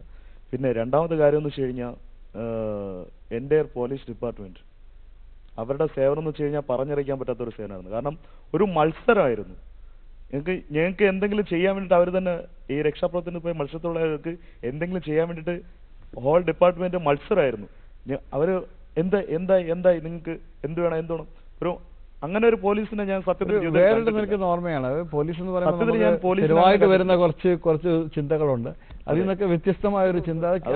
കേൾക്കാൻ വളരെ ഈ ഒരു കാര്യത്തിൽ ഫുൾ ഡിപ്പാർട്ട്മെന്റ് സത്യമായിട്ട് ഒരു ബിഗ് സല്യൂട്ട് കൊടുത്താലും മതിയാവത്തില്ല. We can give that salute കൊടുത്തോളൂ. Big salute whole department Jayaraj? എന്റെ അമ്മയുടെ സ്ഥലം അടിമലത്തുറ എന്ന് പറഞ്ഞ സ്ഥലത്താണ്. ഈ കഴിഞ്ഞ ഓഗിയിൽ എന്റെ അമ്മയുടെ ബന്ധത്തിൽ തന്നെ പത്ത് പേരാ ഹോഗിൽപ്പെട്ട് മരിച്ചത്. അപ്പോൾ ആ ഒരു ഇത് പോയി കാണുകയും ശരിക്കും അവരെ അവരെ ബോഡി കണ്ട തന്നെ കൈയില്ല കാലില്ല അങ്ങനെ ആ ഒരു അവസ്ഥയിലൊക്കെ അവരെ കാണും. അവരെ കണ്ട ആ ഒരു ഇത് എന്റെ മനസ്സിൽ ഉള്ളത് കൊണ്ട് എനിക്ക് ഈ ജലത്തിൽ ഈ ഈ വെള്ളപ്പൊക്കത്തിൽ ഒരുപാട് ആൾക്കാർ ഇങ്ങനെ അപകടത്തിലാണെന്നുള്ള ഇത് നമ്മൾ ഞാൻ അറിഞ്ഞായിരുന്നു. ഞായറാഴ്ച വീട്ടിൽ നിന്ന് ന്യൂസിന് നമ്മൾ ഞാൻ അറിഞ്ഞത്. അപ്പോൾ എനിക്ക് അത് ന്യൂസ് കണ്ട നേരം മുതൽ എനിക്കൊന്ന് ന്യൂസിൽ എഴുതി കാണിച്ചിരിക്കുകയായിരുന്നു ഇന്ന ഇന്ന സ്ഥലത്ത് രക്ഷപ്പെടുന്ന ആൾക്കാർ എത്തുന്നില്ല രക്ഷിക്കാൻ ആൾക്കാർ പോകണം പോകണം എന്നുണ്ട് അപ്പോൾ അത് കണ്ടത് എന്റെ മനസ്സിൽ ഒരു വല്ലാത്തൊരു ബിംബലായിരുന്നു എങ്ങനെയെങ്കിലും പോകണം പോകണം എന്നുള്ളതിൽ. അപ്പോൾ അപ്പോൾ ഞാൻ ഞാൻ എന്റെ ഭാര്യ അടുത്ത് പറഞ്ഞു ഞാൻ ചിലപ്പോൾ ഞാൻ പുറത്തു പോകും. ചില വന്നില്ലെങ്കിൽ വിചാരിച്ചോളാം ഞാൻ പോയെങ്കിൽ വിചാരിച്ചോളാം എന്ന് എന്ന് എന്ന് പറഞ്ഞിട്ടാണ് ഞാൻ ഞാൻ ഞാൻ ഇറങ്ങിയത്. ഫോണുണ്ട്. എങ്കിലും ഞാൻ അങ്ങനെ പറഞ്ഞിട്ട് ഇറങ്ങിയത് കാരണം ഞാൻ കല്യാണം കഴിച്ചിട്ട് ഒരു രണ്ട് മാസം ആയതേ ഉള്ളൂ. പുള്ളി ഒറ്റപ്പെട്ട ഒരു വീട്ടിൽ നിന്നാണ് പുള്ളി വന്നത്. അപ്പൊ ആ ഒരു ഞാനാണ് പുള്ളി എല്ലാം എല്ലാം കെയർ ചെയ്യുന്നത്. അപ്പൊ ആ ഒരു ഇത് പുള്ളിക്കുണ്ട്. എന്തായാലും പോയത്? അല്ല ഞാൻ ഞാൻ പറഞ്ഞു ഞാൻ പോകുമ്പോൾ പറഞ്ഞ ഞാൻ പറഞ്ഞിട്ടുണ്ടായിരുന്നു. മനുഷ്യനായിട്ട് ജനിച്ചതിന് എന്തെങ്കിലും ഒരു അർത്ഥം വേണമല്ലോ നമ്മളെ. നമ്മൾ നമ്മൾ അറിഞ്ഞറിയാതെ ഒരുപാട് തെറ്റുകൾ ചെയ്തിട്ടുണ്ട് ചെയ്യുന്നുണ്ട്. പക്ഷെ നമ്മൾ അറിഞ്ഞുകൊണ്ട് ഒരാളുടെങ്കിലും ജീവൻ രക്ഷിക്കുക അതാണ് ഏറ്റവും വലിയ ഒരു ഒരു ഇത് ഞാൻ പറഞ്ഞിട്ടാണ് ഇറങ്ങിയത്. അപ്പോൾ പറഞ്ഞിട്ട് എന്നിട്ട് എന്നിട്ടാണ് പോയത്. പോയപ്പോഴാണ് പിന്നെ ചേട്ടന്റെ കൂടെ പോകാനുള്ള ഒരു അവസരം കിട്ടിയത്. അതൊരു അതൊരിക്കലും മറക്കാത്തൊരു സംഭവം കല്യാണം ഞാൻ- കഴിഞ്ഞ് രണ്ട് മാസം ആയിട്ടുള്ളൂ. ഇങ്ങനെ പറഞ്ഞിട്ട് പോകുന്നത് സപ്പോർട്ട് ഉണ്ട് ഫാമിലിയുടെ സപ്പോർട്ട് സപ്പോർട്ട് ഉണ്ട് എന്റെ എന്റെ വീട്ടുകാരുടെ ഫാമിലി എല്ലാ എല്ലാവരും സപ്പോർട്ട് ഉണ്ട് അതുകൊണ്ടാണ് എനിക്ക് എനിക്ക് പോകാൻ എന്നിട്ട് ഞാൻ അഞ്ച് ദിവസം തന്നെ അവിടെ പിടിച്ചു നിൽക്കുകയും പറ്റിയത്. ഞാൻ എന്റെ വൈഫിന് ഇങ്ങനെ കാലൊടിഞ്ഞ് സ്റ്റാക്സ് ഇത് പ്ലാസ്റ്റർ എടുക്കാൻ കൊണ്ടുപോകുന്ന സമയത്ത് ഞാൻ നല്ല ടെൻഷനായിരുന്നു. അപ്പോൾ വൈഫ് വിചാരിച്ചു പുള്ളിയുടെ പുള്ളിയോടുള്ള സ്നേഹം കൊണ്ട് ഇപ്പോഴും പറയാറുണ്ട് എന്നോട് സ്നേഹം കൊണ്ട്. പക്ഷേ അറിയാം വീട്ടിലെല്ലാവർക്കും അറിയാം ഞാൻ അങ്ങനെ വർക്കിന് പോകുന്ന. അപ്പോൾ വൈഫ് പറഞ്ഞു സ്കെച്ച് ഇത് എടുത്തുകൊണ്ട് വന്നപ്പോഴാണ് ഞാൻ ഫോൺ ഫോൺ സംസാരിച്ചുകൊണ്ട് പോയത് ബോട്ട് ഇറക്കണം അപ്പോൾ വൈഫ് പറയുന്നു എന്റെ കാലൊടിഞ്ഞതിലല്ല കാര്യം. ഈ പോകാൻ പറ്റാത്തുള്ള ടെൻഷനാണല്ലേ പെട്ടെന്ന് തന്നെ അവർ ബാഗൊക്കെ റെഡിയാക്കി എന്നാ. കാര്യം അവർക്കറിയാം അവിടെ ഇന്ന് എനിക്ക് സമാധാനം കിട്ടത്തില്ല. അപ്പൊ ഒന്ന് എന്റെ ഫാമിലി കാലൊടിഞ്ഞിരിക്കുന്ന വൈഫ് ബാഗ് റെഡിയാക്കി അല്ല കാൽ ഇതെടുത്തു. എടുത്തു. സ്ട്രെച്ചർ ഇതെടുത്തു റെഡിയാക്കി കൊണ്ടുവന്നു. കൊണ്ടുവന്ന് വീട്ടിൽ വീട്ടിലെല്ലാവർക്കും എന്നെ ഏറ്റവും കൂടുതൽ ഞാൻ ഫ്രീ ആവുന്നത് വീട്ടിന്റെ സപ്പോർട്ട് തന്നെയാണ്. പിന്നെ പോയ സ്ഥലത്തുണ്ടായ ഒരു പ്രധാനപ്പെട്ട കാര്യം. എന്റെ ഫാമിലി സപ്പോർട്ട് അത് പോയ ഉണ്ടായ സ്ഥലത്ത് ഒരു വലിയ അപ്പച്ചനും അമ്മച്ചിയും. അതായത് ഒരു ബന്ധത്തിന്റെ കഥ പറയാ കഥയല്ല. ആ ഒരു ഞാൻ കണ്ട ചരിത്രമാണ്. ഒരു ഭാര്യയും ഭർത്താവ് എപ്രകാരം ആയിരിക്കണമെന്ന് എന്നെയും മനസ്സിൽ തട്ടിയ ഒരു വിഷയം. കാര്യം ആ അമ്മച്ചിക്ക് ഇൻസുലിൻ എടുക്കണം. ഒരൊറ്റ നില വീടാണ്. അവിടെ ഈ വള്ളമൊന്നും പോകത്തില്ല. അപ്പോൾ ഈ അപ്പച്ചൻ ഈ അമ്മച്ചിയെ കട്ടിലിൽ പിടിച്ചുകൊണ്ട് ഇങ്ങനെ നിൽക്കുകയാണ്. ഇത് ഞങ്ങൾ കാണുന്ന ഒരു പയ്യൻ വന്ന് പറഞ്ഞു ഇങ്ങനെ ഒരു സ്ഥലത്ത് കുടുങ്ങി കിടപ്പുണ്ട് അവരെ രക്ഷിക്കണം. ബോട്ട് പോകത്തില്ല. ബോട്ട് എഞ്ചിൻ ഓടിച്ച് പോകാൻ പറ്റില്ല. തള്ളിക്കൊണ്ട് പോകണം. അപ്പോൾ ഈ ഞങ്ങളുടെ കപ്പിത്താൻ ഞങ്ങളുടെ കപ്പിത്താൻ എന്ന് ഞങ്ങളുടെ ഡ്രൈവർ ഞങ്ങളുടെ സീനിയർ അരെ ഞങ്ങളെല്ലാം കടലിൽ പോകാത്തവരാണ്. പുള്ളിയാണ് ഞങ്ങളുടെ കപ്പിത്താൻ ക്രിസ്റ്റഫർ എന്ന് പറയും. പുള്ളിയാണ് ഞങ്ങളോട് പറയുന്നത് എവിടെയായിരുന്നാലും ഞാൻ വരും. എന്ത് കാര്യത്തിലും. പുള്ളി ആ സ്ഥലത്ത് കൊണ്ടുവന്നു കണ്ട കാഴ്ച എന്ന് വെച്ചാൽ അവർ ഡ്രസ്സ് പോലും ഇല്ലായിരുന്നു. ആ അമ്മച്ചിയെ കട്ടിലിൽ നിന്നെടുത്ത് കൊണ്ട് കയറ്റി അപ്പച്ചനെയും കൊണ്ടുവന്ന് തിരിച്ചു കൊണ്ടെത്തിച്ചത്. വേറെ എത്ര പേരെ രക്ഷപ്പെടുത്തിയിട്ടും അതല്ല ആ അമ്മ അപ്പച്ചനും അമ്മച്ചിയുടെയും സ്നേഹം. ഈ അപ്പച്ചന് മക്കളെല്ലാം കളഞ്ഞിട്ട് പോയി. ഈ അപ്പച്ചൻ അമ്മച്ചിയെ കാത്ത് രണ്ട് ദിവസം വരെ ആ വെള്ളത്തിൽ തന്നെ കിടന്നു. ഒരു ദിവസം കൂടെ കഴിഞ്ഞാൽ എന്ത് സംഭവിക്കുമെന്ന് അറിയില്ല. ആ ഒരു അത് അവരെ കൊണ്ട് എത്തിച്ചത് തന്നെയാണ് ഞങ്ങളുടെ ജീവിതത്തിൽ ധന്യമാക്കിയെന്ന് പറയാം. എങ്കിലും ഇതെല്ലാം പറയുന്നതിന്റെ കൂട്ടത്തിലും നമ്മുടെ ഒരുമയും നമ്മൾ ഒരുമിച്ച് നിന്നതും നമുക്ക് തിരിച്ചു വരാൻ പറ്റിയതും ഇനിയൊക്കെ പലതും പല രീതിക്ക് പോകും. എങ്കിലും ചരിത്രം ഞങ്ങളെ ഓർക്കുമ്പോൾ ഞങ്ങൾ മത്സ്യത്തൊഴിലാളികളാണ്. ഞങ്ങളുടെ പിന്നോട്ട് നിൽക്കുന്ന ആ ഒരു ഇതിൽ നിന്ന് ഞങ്ങൾക്കും മനസ്സുണ്ട്. ഞങ്ങളും പച്ചയായ മനുഷ്യരാണ് വെൽഡൺ കേരള എന്ന ഈ പ്രോഗ്രാമിലേക്ക് വന്നതിന് നിങ്ങൾക്ക് എല്ലാവർക്കും പല പല തിരക്കുകളുള്ള ആൾക്കാരാണ്. ഇന്ന് വേറൊരു ഫംഗ്ഷനുണ്ട്. വന്നതിൽ വളരെ വലിയ സന്തോഷം വളരെ നന്ദി. എനിക്കിപ്പോൾ ഈ വയറ് കാരണം എഴുന്നേറ്റ് നിൽക്കാൻ പറ്റില്ല ഇല്ലെങ്കിൽ ഞാൻ എഴുന്നേറ്റ് നിന്ന് നിങ്ങൾക്ക് കൈയടിക്കേണ്ട ഒരു ഗ്രൂപ്പാണ്. വളരെ വളരെയധികം ഇത് എന്റെ ദൂരദർശന്റെ ഒരു ടീമിന്റെ പാട്ടായിട്ടാണ് ഞാൻ ഈ പറയുന്നത്. നിങ്ങളുടെ ഈ കഥകൾ വരും തലമുറകൾക്കും നിങ്ങൾ പകർന്നു കൊടുക്കുക. ആ ഒരു ആറ്റിറ്റ്യൂഡ് അവരും അവരിലും വരട്ടെ. ഒരുപാട് വേദനകൾ പങ്കുവച്ചു. പക്ഷേ അതിലേറെ എല്ലാവർക്കും എനിക്കൊരു കാര്യം ഉറപ്പാണ്. എല്ലാവർക്കും എന്തൊക്കെയോ ചെയ്തു എന്നുള്ളൊരു സംതൃപ്തി. ആ സംതൃപ്തി എല്ലാ കണ്ണുകളിലും ഞാനിവിടെ കാണുന്നുണ്ട്. തീർച്ചയായിട്ടും പ്രേക്ഷകരും കാണുന്നു. അഞ്ചുതങ്ങിൽ നിന്നുള്ള ഈ അഞ്ച് സഹോദരന്മാർക്കായി നമുക്ക് പ്രാർത്ഥിക്കാം. അവരോട് നന്ദി പറയാം. നന്ദി. നമസ്കാരം.